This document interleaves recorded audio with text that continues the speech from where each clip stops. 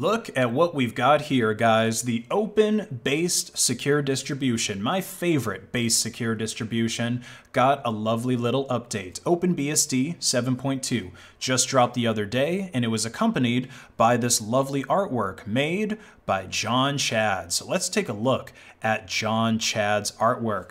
It looks like he drew our favorite based fishies in sort of a Dr. Seuss fashion. And you know, I really like this. This is probably going to be my favorite release artwork since, I don't know, maybe version 6.9, because I really kind of like the yin yang thing that's going on here. And of course, you know, it's version 6.9. That just makes it that much better.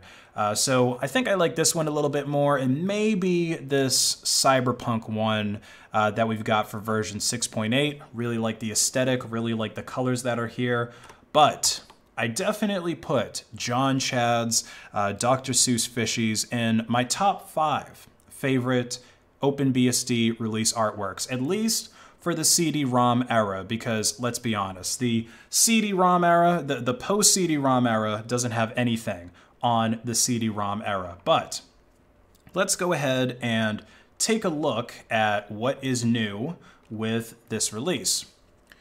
So right at the very beginning, they mention additional support for some different architectures. Now, most of this doesn't really apply to me because I'm only using OpenBSD, at least right now, on servers. More specifically, on the edge of my cloud infrastructure for things like reverse proxies uh, and my Bastion hosts. That's what we're taking a look at right now. This runs OpenBSD. And I really recommend that everybody get a Bastion host regardless of what you're running, even if you're just running some simple little blog site. Now, I know that this sounds fancy, right? Oh, Bastion host. That sounds like something that only enterprises should use. But no, it's not super fancy. It's basically just a server or a VPS in this case that is running VPN software, or hell, you could probably even do a Bastion host with an SSH tunnel. Uh, but the idea is this box has to be in the same VLAN or physical LAN as the services that you're trying to secure, you know, the main services that you're going to serve to your customers. So put your Bastion host in the same VLAN as your main service, which Vultr can actually do for you automatically, and my Vultr referral link is in the description if you're looking for hosting, by the way. Then from there, you just go and update the configs on all your other servers to only accept connections to things like SSH, cPanels, or whatever from your Bastion host over the VLAN. So that way, none of those access points, none of those things that only you should access but you don't want your customers going into, uh, or things that hackers are commonly going to try to brute force, things like SSH, those are never even going to be facing the internet. They're only going to be accessible over your LAN. So then, if a hacker wants to try to attack your web service, instead of him directly attacking a Linux server that might be running a complex software stack and have a relatively large attack surface, they have to first go through this OpenBSD box that's pretty much just running WireGuard and OpenSSH. So this is much harder to hack. Uh, or hell, you could even host the website or the service that you're going to be serving to your customers on an OpenBSD box. Um, pretty much all the same software that you'd use in Linux for web servers, things like Python, PHP, JavaScript, Node, different SQL databases, Nginx, HTTPD. All of that is also available on OpenBSD, um, and you don't even have to get into ports. It's available through the package manager.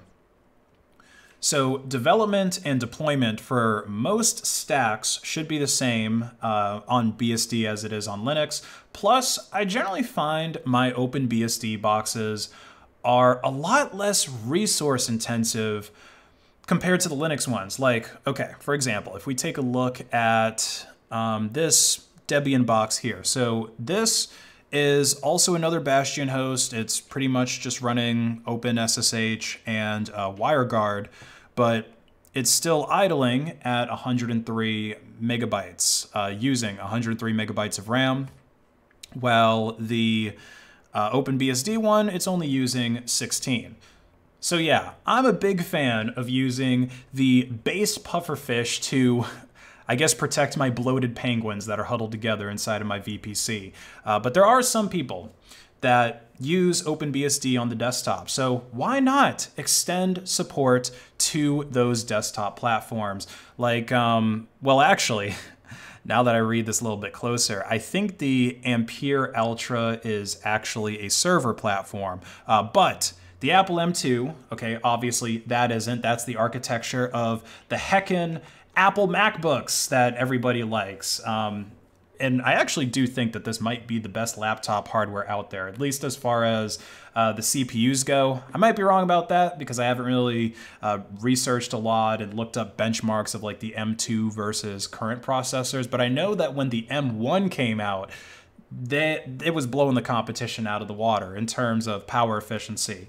Uh, so yeah, this release adds support for those machines, and it's also adding support uh, for Lenovo ThinkPads and other machines that are using Qualcomm Snapdragon 8CX Gen 3 processors.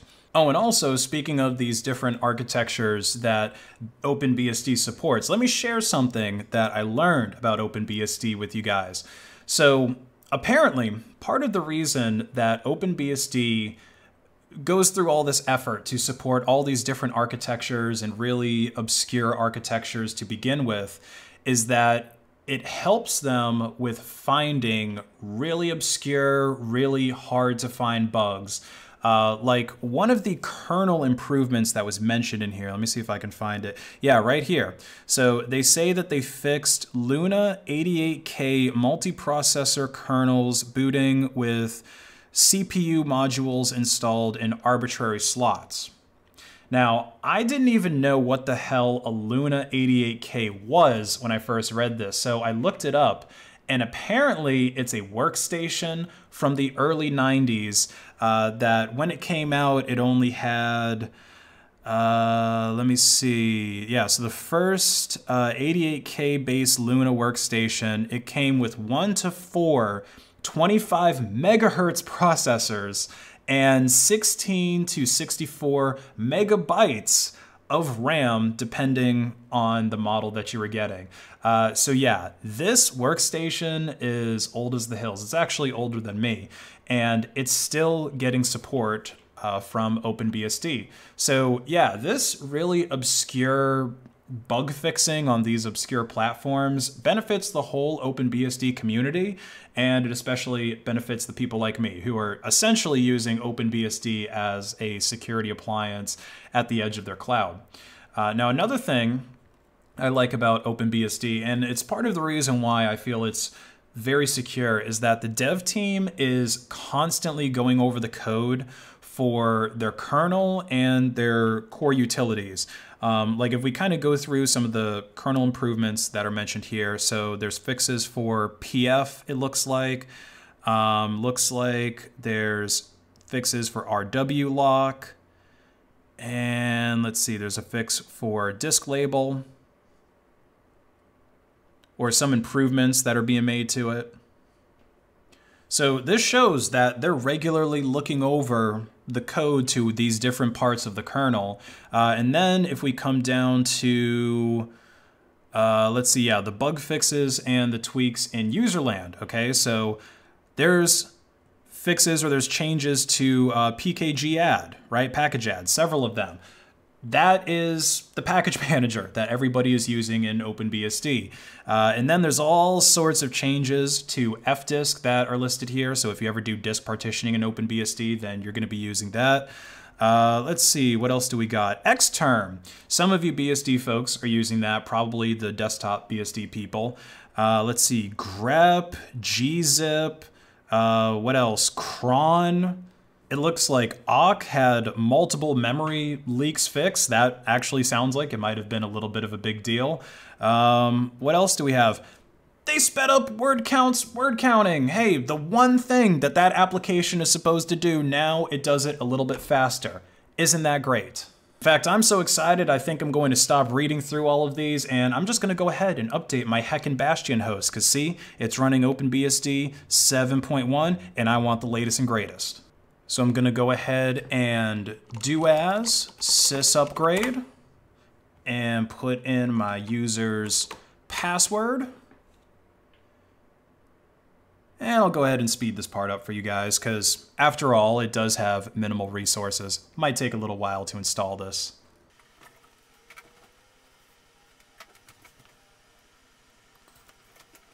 Okay, so I just SSH'd back into my Bastion host and bam, we are now running the latest OpenBSD.